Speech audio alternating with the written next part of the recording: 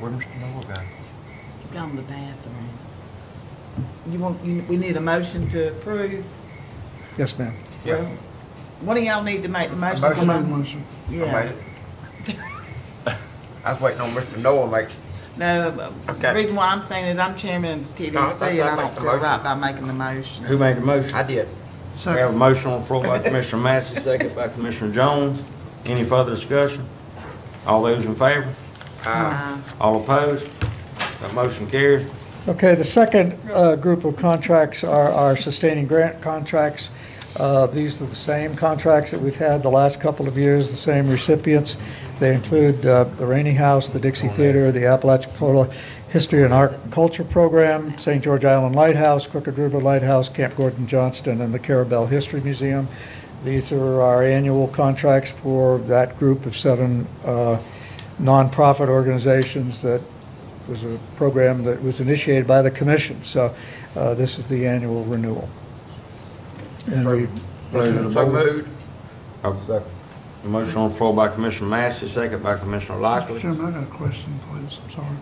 yes, sir. Uh, Of the seven you just named, have all of them been, I mean, has, hadn't it been a while since the Dixie's been open? Um, I guess is the point I'm trying to, Yeah, they, they, they have a, a, a regular season for which they're open, you know, pretty much every day. Uh, They came and asked for uh, support from the board to allow them to modify their schedule, and uh, uh, the board agreed back, oh, I don't know, eight, eight, 10 months ago. Um, So they, they work on a different schedule because of the nature of their, of their business. But the buildings, um, at least last report, the buildings open uh, regularly. It's just that they don't have the regular scheduling that, that other groups do.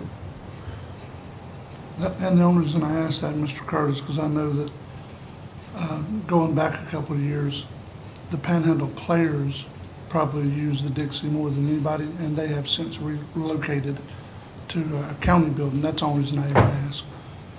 Yes, that they have. Thank you. We do have a motion and a second on the floor. Is that correct? Yeah. Any further discussion? All those in favor? Aye. All opposed? That motion carries. The final group of contracts are for the visitor centers. Uh, The contracts are the same as they've all, they've been for the last several years. Uh, There's one change, and that is that the board has made a decision to contract with the Apalachicola Chamber to do the St. George Island Visitor Center. This is not a reflection of, of their thoughts about the, the existing owner. What it's intended to do is to bring the visitor centers into con- more consistency with the, the uh, uh, chamber model that, that we've been using over the years, uh, and they're, and they're certified visitor centers, and uh, so the board has recommended that the chamber pick up that contract beginning in October. Pleasure of the board. Visitor center contract. Make a motion to approve. Mo- We have a motion by Commissioner Second. Jones, second by Commissioner Massey. Any further discussion? All those in favor? Aye. Aye. All opposed? That motion carries also.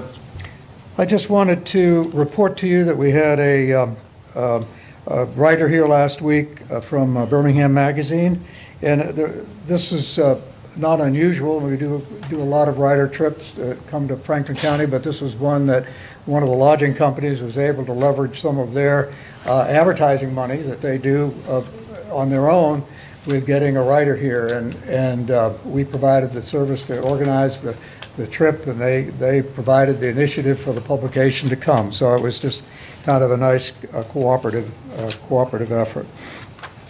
Um, This, the second uh, document that Michael uh, distributed to this morning is, goes along with a request that, that we wanted to make. Uh, As I indicated earlier when I introduced Ms. Davis, uh, we've been doing an extensive review of the collections and expenditures for the Tourist Development Council. We generally do this about this time of the year because we have to get the numbers ready for your budget hearings, and we have to be able to anticipate what our carryover uh, revenues are going to be.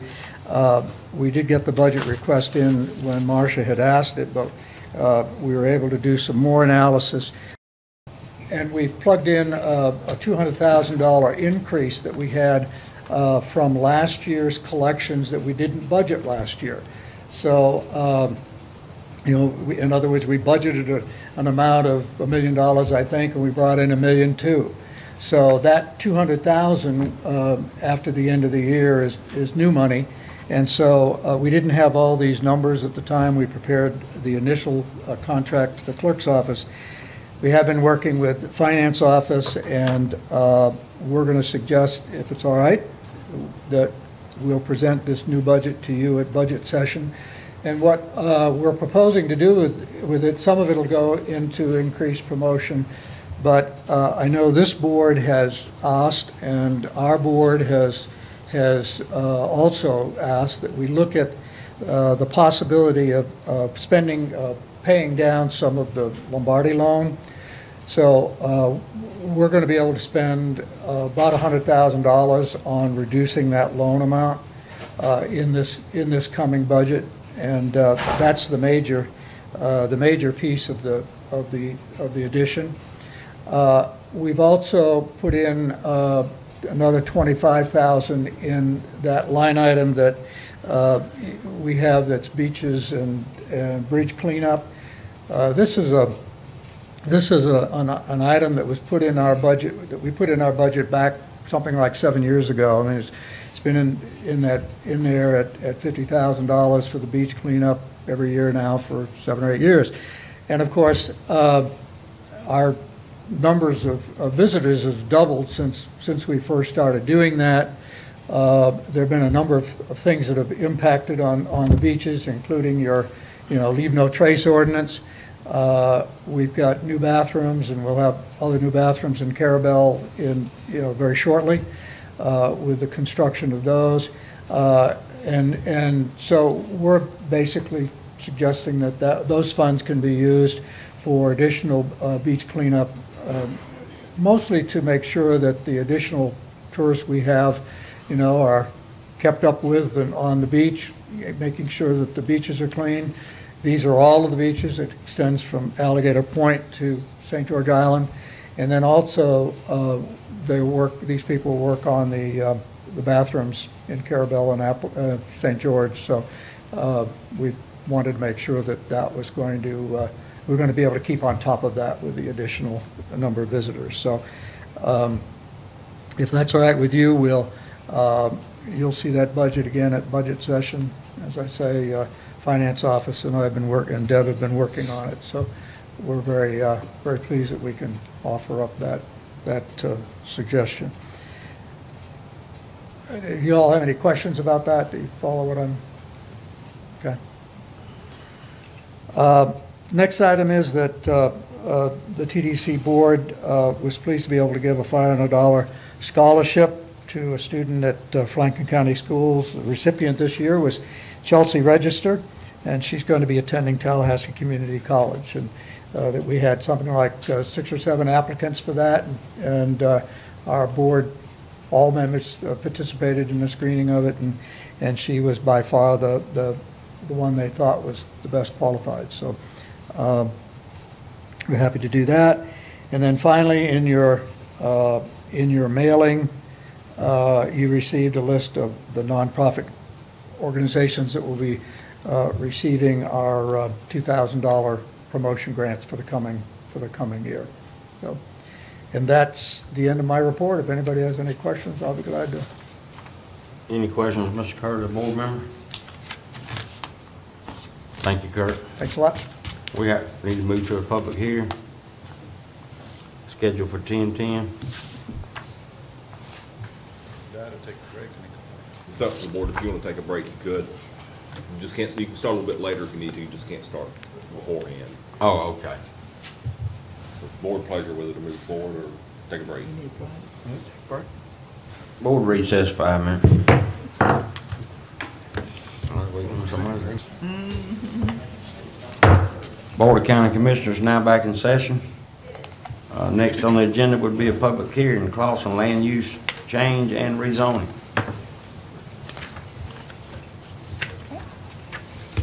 Today, we're going to look at um, a Clausen, it's a land use change over in East Point. um, a 6.53 acre parcel of land lying in Section 23, Township 8 South, Range 6 West, also known as Lot 2 Emerald Point Beach, East Point, Franklin County, Florida, as shown on the attached map. Um, It should be changed from rural re- residential to residential. Um, the- Should I continue to read about the timing?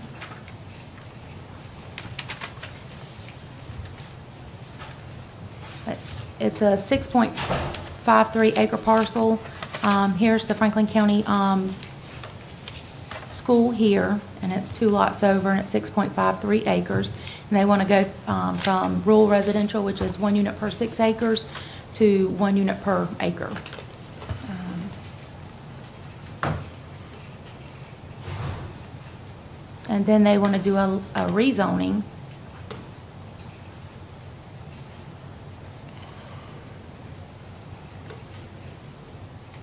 from R6 rural residential to R1 single-family residential. Pleasure. Oh, ooh, shock. I'm sorry to be out here. Don't forget, it's, uh, they're, they're public hearings, so we've got to get, um, uh, Public comment? co- public comments before we move forward. And I think we do the land use change first as one motion, and then we move on to the zoning of the same property. Where'd as a our second lawyer motion. go? I'll find him for you in a second, sir.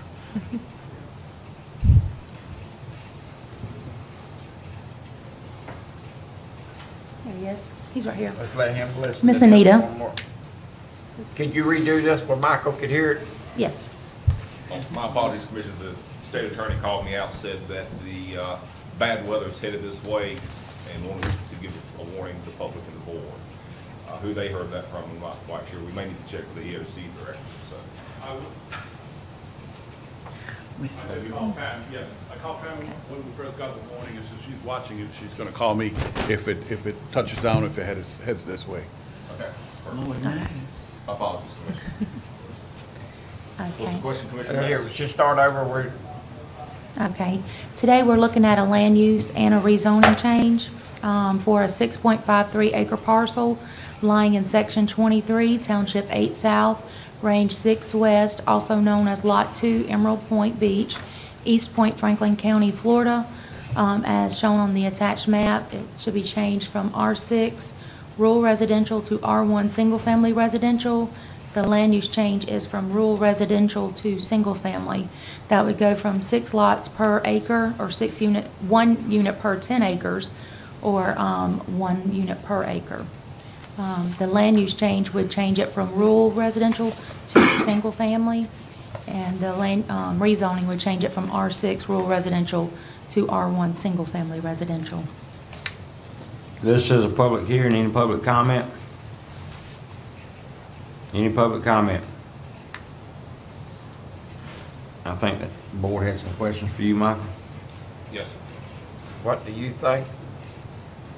Rec, your recommendation? Recommendation on it?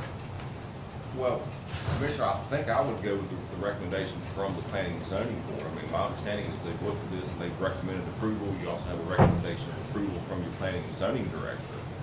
So those two entities having reviewed this carefully and and making a recommendation of approval, I would uh, support that recommendation. And also, if you'll notice, um, Lot 2 has, um, that's the requesting property, and Lot 4 has already been um, requested to, um, they've already been split. This is a land use change. There being no public comment. Pleasure of the board. So moved. Second. We have a motion on the floor by Commissioner Massey, second by Commissioner Jones. Any further discussion? All those in favor? Aye. All opposed? That motion carries. I Oh, oppose. Cheryl, uh, Commissioner Sanders opposed. Proceed. Okay. We also have a land use change for DW Wilson Park.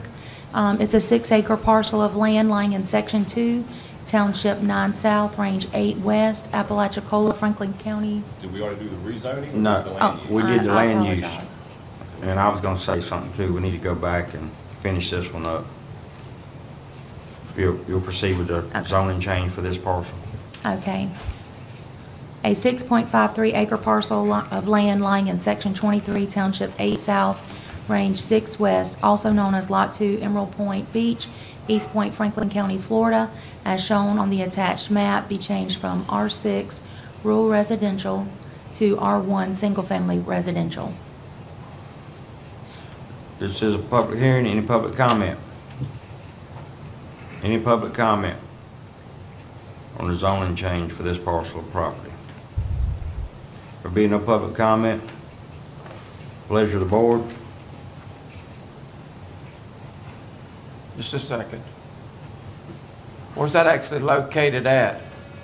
It's at the same location. um, The Franklin County School is here, Yeah, right and there. it's two lots over, yes, sir, in the Okay. red. So moved. We have a motion by Commissioner Massey. Do we have a second? Second. Second by Commissioner Jones. Any further discussion? All those in favor? Aye. All opposed? I oppose. Does the record reflect Commissioner Sanders opposes? Okay. That mm. completes. Okay. Next would be public hearing on D.W. Wilson Park, land use change and rezoning. Yes, sir. It's a six-acre parcel of land lying in Section 2, Township 9 South, Range 8 West, Apalachicola, Franklin County, Florida, as shown on the attached map, be changed from single-family home industry and industrial to recreation. And this is located um, just south of the existing park. Um, There's Bluff Road to the north, or to the, to the east, and you have Gibson Road, and then um, Powell Rivers, and this is the, the parcel of land. Any public comment? No public comment? Pleasure of the board. Motion to approve. Second. We have a motion on the floor by Commissioner Sanders, second by Commissioner Jones. Any further discussion? All those in favor? Aye. All opposed? Motion carries. Okay. Um, Also, we have a um, notice of zoning change to the same parcel of land. It's a six-acre parcel of land lying in Section 2, Township 9 South, Range 8 West, Apalachicola, Franklin County, Florida, as shown as the, on the attached map, to be changed from R4 Single Family Home Industry and I1 Industrial to P2 Recreation. And I will, Motion to approve. Oh, any, any public comment? Oh, sorry. Any public comment? There being no further comment, we have a motion on the floor by Commissioner Motion Sanders, to approve. second by Commissioner Zon- Jones. Any further discussion? Yeah, all this is, uh, county land, right? yes, sir. Any further discussion? All those in favor? Aye. All opposed? Motion carries. Next on the agenda would be the planning and zoning report. Okay. I mean, if you don't mind, can we, uh, Mr. Chairman, can we go backwards and do the Board of Adjustment first, in case there are any, um, um, that was before the first public hearing. Yeah, And then after that, we could do the save the Okay. planning and zoning for the last item. uh, Amy, we'll proceed Thank with you, the Board of Adjustment report first. Okay. Okay, this morning, um, on our Advisory Board of Adjustments, we had a recommendation for approval. It was unanimous. Um, It was a consideration of a request to install a sewage holding tank 17.1 feet into the critical habitat located at the St. George Island Fishing Pier. The holding tank will be um, pumped by a licensed Department of Health septic company in lieu of a traditional septic tank and drain field. Application submitted by Rob Davis, PE, agent for the Franklin County Board of County Commissioners. And I will go ahead and state that we do have the variance from the state of Florida for these as well. Go Do you- ahead with, Go Yeah. ahead with the full, okay. Yes. We also have a recommendation of approval, um, it was unanimous, consideration of a request to install a sewage holding tank 2.5 feet into the critical habitat located on the East Point um, Fishing Pier. The holding tank will be pumped out by a licensed Department of Health septic company in lieu of a traditional septic tank and drain field. Application also submitted by Rob Davis, PE agent for the Franklin County Board of County Commissioners applicant. Now these, two particular holding tanks are, are being proposed to take care of the- both ends of the fishing pier. Yes. Where this, uh, project is going on, the NRDA project is going on to construct restrooms at both ends of the, uh, fishing pier. Uh, uh, There used to be the bridge going to St. George Island. Yes, sir. Yes, sir. So I'd like to separate those two from number Okay. three. Okay. Pleasure of the board. Motion to approve. We have a motion on the floor by Commissioner Lockley, second by Commissioner Jones. Any further discussion? Yes, Mr. Chairman. Yes. Uh, I just want to clarify what, what I'm being told about this project. All the design and everything has fallen upon the state, correct? Yes, it's a NRDA project, sir. Right. So it isn't, we've DEP designed to do it fundamental. this way, they've designed to do it. Yes, they have. All right, Thank you. Any That's putting further? a drain field in. No, they've been in a holding tanks, commission because of where, where they're located. There's no area for a drain field on either end of the fishing pier. At one end, we tried to work uh, with uh, East Point Water and Sewer to get sewer, but because of where it was and the requirements for an emergency generator, et cetera, et cetera, um, DEP decided it, it was just better to put a holding tank. They they were already doing it on the St. George Island side of the fishing pier. There's no drain field, and it's gonna be a tank pumped out. Yep, a tank, a tank pumped out. That's something um, uh, Fonda will have to, uh, actually, Mr. Chairman, that's something Fonda will probably have to include in his budget because, as you know, the summer months uh, will cause it to be used more often and we have to be pumped out more often versus the winter months. In bad weather or storms or anything, it can be pumped out on an emergency basis. Yes, sir? And, the- and if I'm correct now, from discussion, the one on the island side, the quote that the state got back from them was just entirely too high anyway. They said they wanted to spend that amount of money on. Oh, you mean for the, for sewer? For- Yeah, for the Oh, other yeah, side, oh, yeah, For the because- other side. Oh, yeah, it was worse than what, Right. oh, 10 times worse than what we would have to uh-huh. deal with, with on the East Point side. Yes, sir. Do Fonda have a pumping truck? No, sir. We're gonna have to You have to contract. pay somebody to do Yeah, it. we'll have to contract with someone to do it. But that's something you need to make a note of, Michael, as we go into the budget discussion. Yes, sir. Of something else that needs to be added. Yes. Uh, How big of tanks are they? Oh, that's a question I'd have to go double check, sir, and email it back to you. It's part of the plans which I, I have in the office. I can forward all, all of you the plans from, uh, DEP for those two projects. Pleasure of the board. We don't have a, we do have a motion and a second on the floor. Uh, Any further discussion?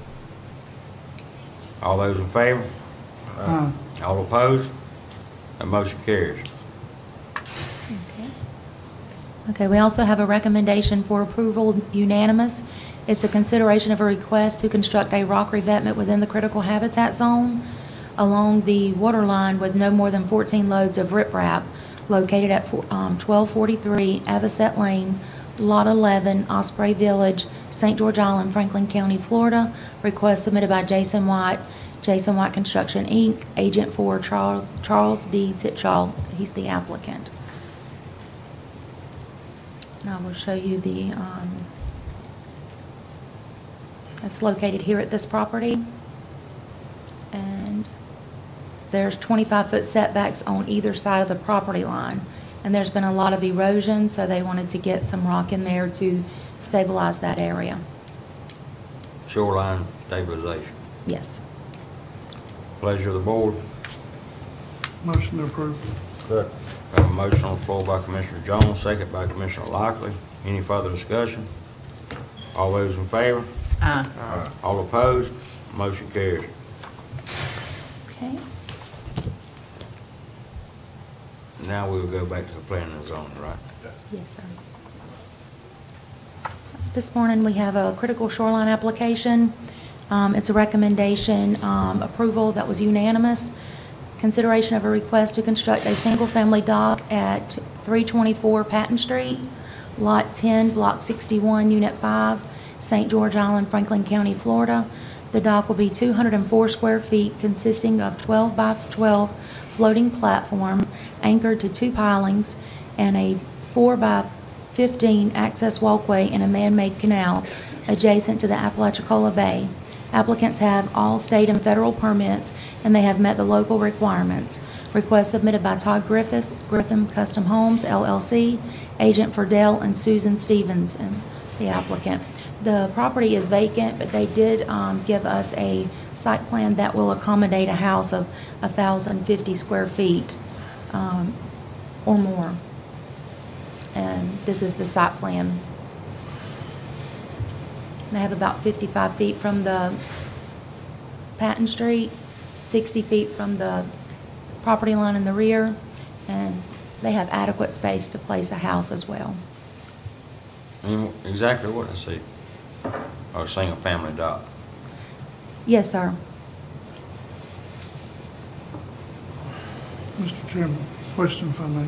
Yes. Is this, so are you saying, Amy, that the building of this dock is contingent upon them building a house? No, one of, um, one of the items that you can build um, ahead of your home is a dock. Okay, Um, But you do have to prove that you do have room to build a house. okay. All right, thank you. You're welcome. I- I don't ever remember seeing one of these floating platforms anchored by two pylons. Is that something we typically do? We, um, we do, um, have some, there's, um, at the Franklin County, um, the East Point, um, East Point Park, they have a floating dock. Um, it's much larger, so it's anchored by four. Yeah. Um, but this one is only gonna be anchored on the wa- landward side by two pylons, and it's going to have a platform, um, that leads to it, um, a small. Pleasure of the board. Give me that location again. It's at three twenty-four Patton Street. Okay. Um, let me get back up to the, to the map.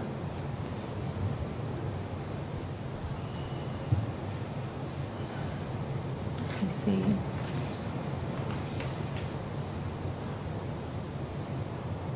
So moved. We have a motion on the floor by Commissioner Lockley, Second. second by Commissioner Massey. Any further discussion? I have a question, Mr. Chairman, Yeah. please. The, the dock we're talking about is 15 foot going out, correct? No, it's twelve feet going out. It's a Okay. twelve by twelve platform. Um, in this item here, it'll kind of show you, there's a twelve by twelve platform. Um, it'll be floating. It's going to be attached by two pylons that's landward. And then they're gonna have a four by fifteen, um, platform that'll go, um, to the dock, which is, um, let me read how wide it is. The reason I'm asking the question, Amy, is, in other words, how far from the edge of the water will be sticking out? Just the, the platform itself, pretty much, past the pylons? It shouldn't be too far um, out from the water, probably around 15 feet or Okay. so. But probably not very much more than all the ones that No. are adjacent to it. If, if you look in the um, picture, I know it's kind of hard to see. um, There's um, plenty of space. They have to have Right. um, plenty of space to navigate, and it won't be any um, bigger than any of the ones in the area. Thank. They'll have two rings on it that'll fit over them pylons and it'll float up and down. That, that's correct. Yeah. Thank you, Amy. You're welcome.